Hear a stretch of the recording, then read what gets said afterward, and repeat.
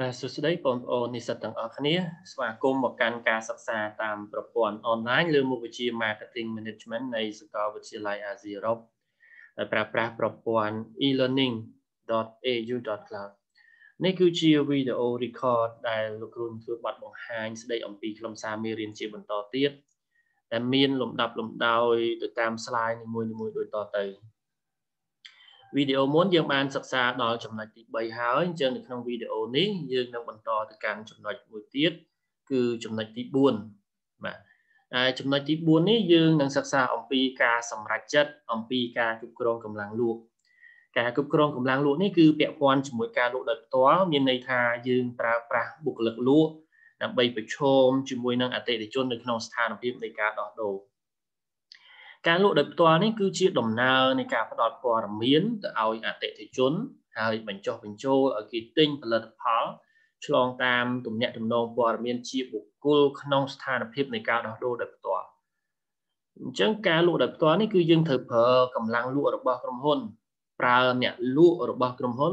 ដើម្បីដើរតួនាទីជាអ្នកលក់ផងជាអ្នកផ្ដល់ព័ត៌មានផងជំរុញឲ្យអតិថិជនធ្វើការសម្រេចចិត្តទិញនៅក្នុងស្ថានភាពនៃការដោះដូរដោយផ្ទាល់ គឺអតិថិជនត្រូវមកជួបជាមួយនឹងកម្លាំងលក់របស់ក្រុមហ៊ុនដើម្បីទទួលព័ត៌មានសាកសួរព័ត៌មាននិងដើម្បីធ្វើការដោះដូរទំនិញឬក៏សេវាកម្មបំពេញតម្រូវការរបស់ពួកគាត់ការលក់ដោយផ្ទាល់នេះគឺខុសអំពីការផ្សាយពាណិជ្ជកម្មខុសត្រង់ថាវាធ្វើឡើងដោយមនុស្សផ្ទាល់មិនមែនជាមធ្យោបាយទំនាក់ទំនងតាមរយៈគ្រឿងផ្សព្វផ្សាយព័ត៌មាននោះទេព័ត៌មានទាំងឡាយត្រូវបានផ្ដល់ចេញពីកម្លាំងលក់ ណាចេញពីមាត់របស់កម្លាំងលក់ដោយផ្ទាល់ដោយមិនចាំបាច់ប្រើប្រាស់នៅមធ្យោបាយផ្សព្វផ្សាយនេះនេះទេអញ្ចឹងការលក់ទំនិញដោយ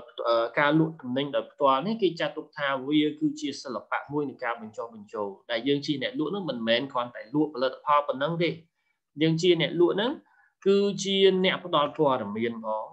ណាជាអ្នកជំរុញអតិថិជនឲ្យមាននៅតម្រូវការឲ្យចាប់អារម្មណ៍លើផលិតផលរបស់យើងដើម្បីធ្វើការបញ្ជាទិញ ហើយជំរុញឲ្យអតិជនបញ្ជាទិញកាន់តែច្រើនណានោះគឺជាអ្វីដែលអ្នកលក់ឬក៏យើងហៅកម្លាំងលក់របស់យើងត្រូវតែធ្វើ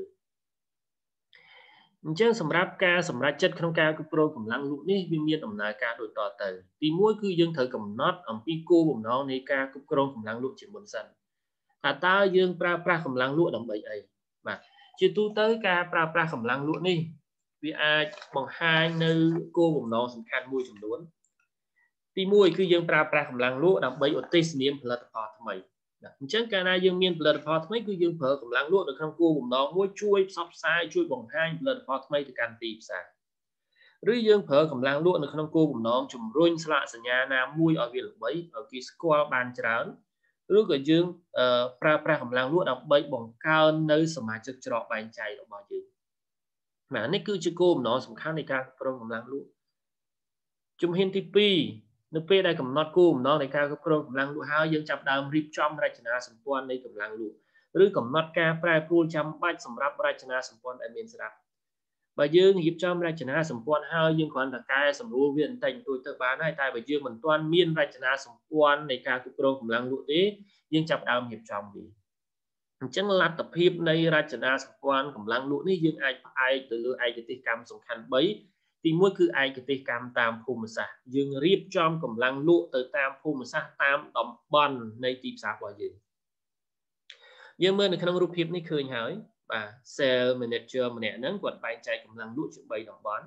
មានតំបន់ A តំបន់ B តំបន់ C អញ្ចឹងគេហៅថាឯកទេសកម្មតាមភូមិសាស្ត្របាទទី2គឺឯកទេសកម្មតាមផលិតផលប្រសិនបើក្រុមហ៊ុនហ្នឹងមានផលិតផលច្រើនម៉ាកបាទ មានស្លាកសញ្ញាច្រើនមុខច្រើនប្រភេទយើងបែងចែកកម្លាំងលក់ទៅតាមស្លាកសញ្ញាផលិតផលរបស់យើងទៅដោយនៅក្នុង slide គេបានបង្ហាញឃើញថា sales manager គាត់គ្រប់គ្រងទៅលើកម្លាំងលក់3ប្រភេទ3ក្រុម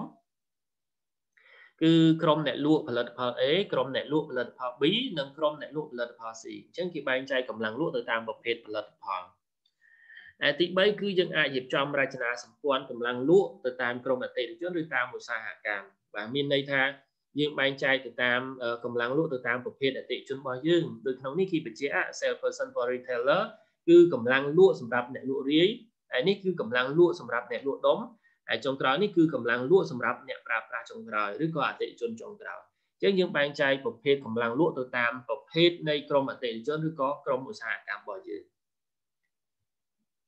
បាទជំហានទី3គឺពាក់ព័ន្ធជាមួយនឹងការកំណត់អំពីទំហំនៃការលក់ ការកំណត់អំពីទំហំនៃការលក់នេះគឺ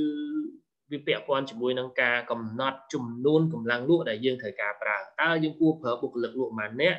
ដើម្បីផ្ដល់សេវាកម្មទៅដល់អតិថិជនបានគ្រប់គ្រាន់វាមានរូបមន្តដែលគេប្រើយើងមើលនៅក្នុងនេះខ្ញុំបានបង្ហាញរូបមន្តហើយ number of cell for size ស្មើនឹង NEC គុណនឹង FC គុណនឹង LC ចែកឲ្យ selling time អញ្ចឹងពាក្យទាំងអស់នេះវាមានពាក្យពេញរបស់វា បាទខ្ញុំបានបង្ហាញ NEC មកពីពាក្យថា number of existing customer គឺចំនួនភ្ញៀវដែលមកទស្សនាក្នុងហាងរបស់យើងដែលដើរមកទិញទំនិញក្នុងហាងយើងបាទ FC គេហៅថា frequency of call ជាចំនួនដងមកទស្សនានៃភ្ញៀវម្នាក់តើភ្ញៀវម្នាក់ហ្នឹងចូលមកកាន់ហាងយើងប្រហែលដងបាទ LC មកពីពាក្យថា length of call selling time available from one person គឺសំដៅទៅលើចំនួនម៉ោងណាចំនួនម៉ោងក្នុងពេលទស្សនាម្ដងម្ដងរួមទាំងពេលវេលាធ្វើដំណើរផងដែរថាតើអតិថិជនម្នាក់ហ្នឹងគាត់ចូលមកហាងយើងគាត់ត្រូវចំណាយរយៈពេលប្រហែលអញ្ចឹងក្នុងនេះយើងសិក្សាលើឧទាហរណ៍គេថាក្រុមហ៊ុនលក់កុំព្យូទ័រមួយហ្នឹងគេចង់កលីហោកម្លាំងលក់សម្រាប់រយៈពេល1ឆ្នាំដែល1ឆ្នាំគាត់គិតថាមានតែ360 350ថ្ងៃទេគាត់ដកថ្ងៃជប់សម្រាប់ដកអីចេញទៅឃើញតែ350ថ្ងៃ ហើយចំនួនអតិថិជនរបស់គាត់មាន3000នាក់ហើយ frequency of call ចំនួនដងដែលមកទស្សនារបស់ភ្ញៀវម្នាក់ហ្នឹងគឺ3ដងបាទបានន័យថាក្នុងមួយឆ្នាំ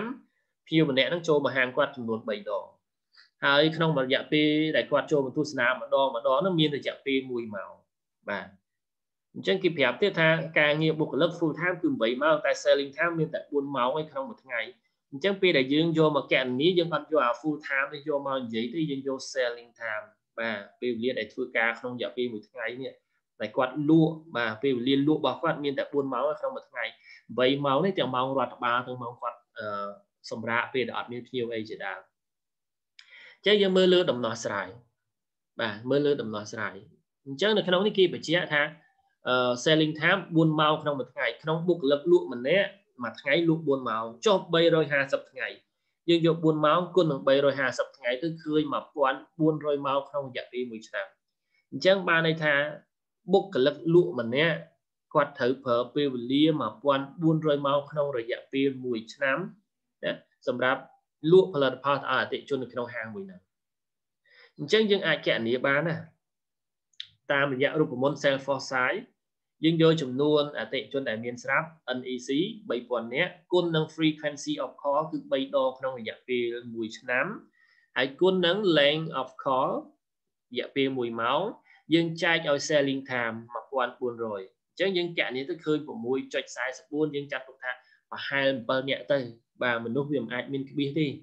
ឬក៏យើងយក6នាក់ប្រគត់ចុះក៏បានដែរតែជាទូទៅដើម្បីឲ្យការងារយើងអនុវត្តទៅបានពេញលេញល្អយើងយក7នាក់ទៅបាទ អញ្ចឹងក្នុងហាងលក់កុំព្យូទ័រហ្នឹងគឺត្រូវការបុគ្គលិកលក់7នាក់ទើបអាចគុតគង់សេវាកម្មផ្ដល់សេវាកម្មឬក៏អាចបំពេញតម្រូវការអតិថិជនបានពេញលេញក្នុងរយៈពេល1ឆ្នាំបាទឧទាហរណ៍ទី2គឺផ្សារទំនើបមួយគេចង់កណនារកកម្លាំងលក់ក្នុងរយៈពេល1ខែបាទហើយ selling time 10ម៉ោងក្នុងមួយថ្ងៃ NEC មាន200នាក់ក្នុងមួយថ្ងៃ frequency of call 2ដងក្នុងរយៈពេល1ខែ បាទក្នុងខែចូលមកហាងហ្នឹង2ដងហើយចូលមកម្ដងចំណាយរយៈពេល30នាទីបាទ length of call 30នាទីពេលដែលគាត់ចូលមកហាងយើងម្ដងម្ដងគឺ30នាទីកន្លះម៉ោងអញ្ចឹងយើងកណនីរក number number of cell for size យ៉ាងម៉េចបាទយើងកណនីរកចំនួននៃកម្លាំងលក់យើងនឹងយ៉ាងម៉េចយើងប្រើរូបមន្តមិញដដែល តែមុននឹងប្រើរូបមន្តយើងមើលលើឯកតាអីផ្ទៀងផ្ទាត់វាឲ្យត្រឹមត្រូវដូចក្នុងនេះគេបញ្ជាក់នេះចំនួនអតិថិជនដែលមានស្រាប់ NEC អត់ទាន់ដឹងទេគេគ្រាន់ប្រាប់ថា200នាក់ក្នុងមួយថ្ងៃដែលចូលមកក្នុងផ្សារទំនើបមួយហ្នឹងអញ្ចឹងក្នុងមួយថ្ងៃ200នាក់ចុះបើក្នុងមួយខែគុណវានឹង30 verb ណាយើងគុណវានឹង30ទៅយើងឃើញ6000នាក់ណា6000 person per month ណា6000នាក់ក្នុងរយៈពេល1ខែអញ្ចឹងយើងយើងមើលទៅលើ selling time selling time មានចំនួន10ម៉ោងតែគេប្រាប់មកដូចជាគិតជាឯកតាជានាទីនេះឃើញទេបាទ length of call ហ្នឹងគឺគិតជានាទីអញ្ចឹងយើងបំបែកម៉ោងនេះទៅជានាទីមកដើម្បីឲ្យឯកតាដូចគ្នាបានយើងកណនាបានអញ្ចឹង selling time 10ម៉ោងក្នុងមួយថ្ងៃចុះមួយខែគុណនឹង30 30ថ្ងៃទៅឃើញក្នុងរយៈពេលមួយខែហើយគុណវានឹង60ទៅយើងបំបែកវាទៅជានាទីក្នុងមួយខែអញ្ចឹងឃើញ18000នាទីក្នុងរយៈពេលមួយខែ អញ្ចឹងយើងចែកយើងចាប់ដើមទូទាត់តាមរូបមន្ត Salesforce size ស្មើនឹង NAC 6000នាក់ក្នុងមួយខែគុណនឹងបាទគុណនឹង frequency 2ដងក្នុងមួយខែហើយគុណនឹង length of call 30នាទីក្នុងរយៈពេលម្ដងណាអតិជនម្នាក់ចូលក្នុងហាងយើងនឹង30នាទីក្នុងរយៈពេលម្ដងហ្នឹង អញ្ចឹងយើងគុណទៅយើងចែកចំនួន selling time ដែល selling time នេះយើងកណនាឃើញ18000នេះបាទ18000នេះយើងគុណទៅយើងឃើញ20នាក់ក្នុងមួយខែអញ្ចឹងផ្សារទំនើបមួយហ្នឹងដើម្បីបំពេញតម្រូវការអតិថិជនឲ្យបានគ្រប់គ្រាន់គឺត្រូវប្រើកម្លាំងលក់ចំនួន20នាក់ក្នុងរយៈពេលមួយខែបាទនេះគឺជារបៀបនៃការកណនារោគអឺការកំណត់អំពីទំហំនៃកម្លាំងលក់ដែលយើងត្រូវការប្រើអញ្ចឹងជំហានទី4 ជំហានទី4យើងធ្វើការជ្រើសរើសអ្នកលក់ថ្មីប្រសិនបើអ្នកលក់បច្ចុប្បន្នមិនសមស្របឬក៏អ្នកលក់បច្ចុប្បន្នវាមានចំនួនមិនគ្រប់គ្រាន់ការជ្រើសរើសនេះវាអាចមានប្រភពពីផ្ទៃក្នុងឬក៏ប្រភពពីខាងក្រៅដោយផ្ដោតទៅលើការយកចិត្តទុកដាក់លើបញ្ហាមួយចំនួនដូចជាបទពិសោធន៍នៃការលក់កន្លងមកថាតើ sell sell ដែលយើងប្រើគាត់ធ្លាប់មានបទពិសោធន៍លក់ដែរឬទេពីមុនពីមុនមកយើងរើសបុគ្គលិក sell ថ្មីគឺរើសយកអ្នកដែលមានបទពិសោធន៍ស្រួលប្រើ បាទមួយទៀតគឺមើលទៅលើកម្រិតនៃការសិក្សាតើយើងគួរកំណត់កម្រិតសិក្សាគាត់ខំណាសមត្ថភាពការងារលក្ខណៈសម្បត្តិភេទអាយុទាំងអស់នេះគឺជាចំណុចដែលយើងផ្ដោតយកចិត្តទុកដាក់ទៅលើការជ្រើសរើសនៅកម្លាំងលក់ថ្មីរបស់យើងជំហានទី5គឺចាប់ផ្ដើមតម្រង់ទិសណាតម្រង់ទិសដៅដល់អ្នកលក់ហើយនឹងមានការលើកទឹកចិត្តអញ្ចឹងបើយើងរើសបានកម្លាំងលក់ថ្មីហើយ យើង orientation គាត់យើងតម្រង់ទិសដៅអំពីរបៀបនៃការលក់ហើយនឹងមានការលើកទឹកចិត្តពួកគាត់ឲ្យមានការខិតខំប្រឹងប្រែងហើយជំហានទី6គឺពាក់ព័ន្ធជាមួយនឹងការវិតម្លៃអំពីការទូទាត់សំណងបាទការវិតម្លៃអំពីការទូទាត់សំណងហើយយើងត្រូវពិនិត្យវិតម្លៃទៅលើលទ្ធផលការងារកម្លាំងលក់ទាំងអស់នឹងតើគាត់មានការខិតខំប្រឹងប្រែងដែរឬទេហើយយើងពិនិត្យ វិតម្លៃថាតើយើងគួរផ្ដល់នៅសំណងទូទាត់ឲ្យគាត់នឹងចំនួនប្រមាណដើម្បីស័ក្តិសមជាមួយនឹងការលះបង់កិច្ចខិតខំប្រឹងប្រែងរបស់កម្លាំងលក់ទាំងអស់នោះបាទចំណុចទី5គឺយើងនឹងសិក្សាអំពីការសម្រេចចិត្តអំពីទំនាក់ទំនងសាធារណៈ